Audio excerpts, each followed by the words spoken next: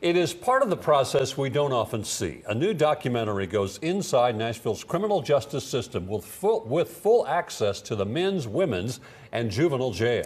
Tonight, News 2's My Owen sat down with Nashville's juvenile court judge featured, featured in that series. It's probably one of the first communities that has ever let cameras come in and just view everything from when people get arrested to when they are incarcerated to the times that they go to court and then even follow some of them after court and to see what happens to them.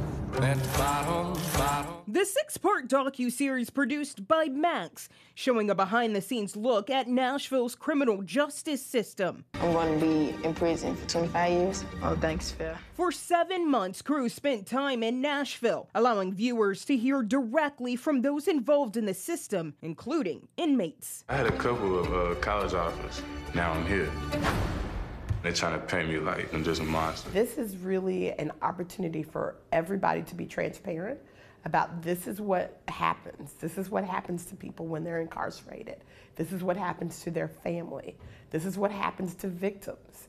This is what happens to everybody that's involved in the justice system. I want them to see the humanity in our youth for the past several years, juvenile crime has been a cause for concern. Teens being charged with homicides, carjackings, and robberies. But Judge Sheila Calloway is hoping the docu-series will open up the conversation and show change is possible. I want to make changes to everything that we do, to the entire system.